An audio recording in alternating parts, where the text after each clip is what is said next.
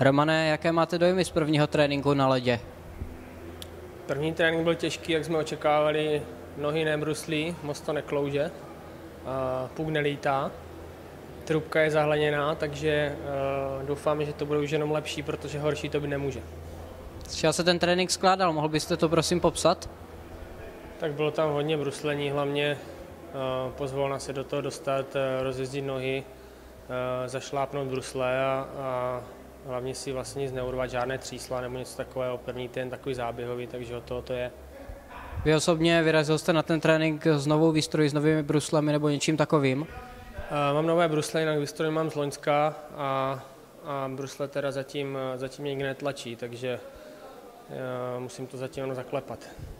Jak budou vypadat ty další tréninky, víte to? Uh, nevím, nevím, jak budou vypadat, ale asi budou uh, fyzicky náročnější, je nás tady hodně, že trenér asi bude chtít vidět uh, co nejvíc hráčů v zátěži a uh, asi podle přípravných zápasů se bude dělat sestava.